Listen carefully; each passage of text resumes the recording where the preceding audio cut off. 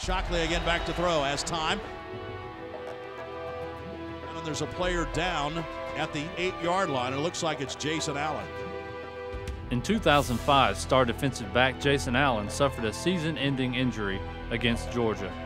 Stepping up in his place was sophomore Inky Johnson.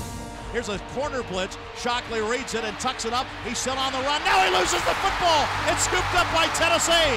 Scooped up by Inky Johnson, and Tennessee comes up with a turnover.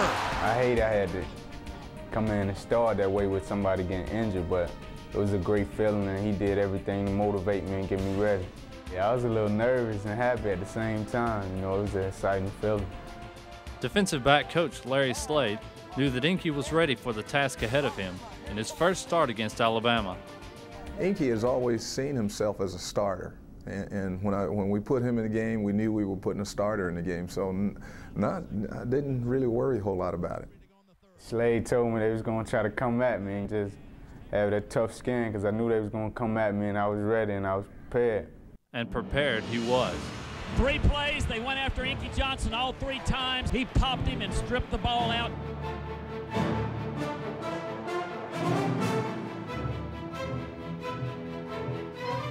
Things were looking up for Inky going into the 2006 season until disaster struck in the fourth quarter against Air Force. Carney being blitzed, but he gets up, fires the ball down the sideline. And then Inky is slow to get up. Inky knocked the Air Force runner, Justin Handley, out of bounds, but Inky is still down. When I hit him, I blanked out for a minute, and uh, you know they took me off on a stretcher. And I remember when I got to the hospital, you know, all the people standing over me in the ER and all that telling me it's gonna be okay, and everybody was by my side with me 100%, you know, when I went in and when I came out of surgery. My coaches and teammates, they supported me a lot, man. They brought me through it a lot, and they stayed with me right by my side through it all. After surgery, Inky went through months of recovery, but unable to continue his football career. My road to recovery has been good, man. You know, my training staff, you know, they're working with me. They're great training staff, you know. God's working on my body every day. I thank Him for my healing every day. Despite the injury, Inky still continues to take an active part with the volunteer secondary. I'm slowly moving into that student coaching role. I'm going to some meetings, you know, helping some players out on the field.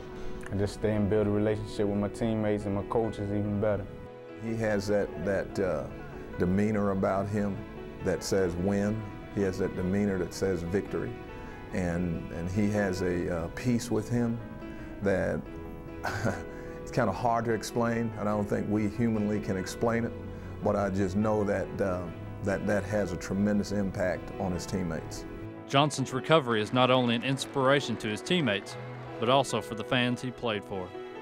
It was a tough, it was a tough break for Inky. It was a tough break, tough thing for the team. But uh, has a has a heck of a testimony, and and uh, a lot of people are, um, you know, turning their lives around as a result of what happened to Inky a life-changing moment came when I got injured, but you know, I took it in stride because God does everything for a reason.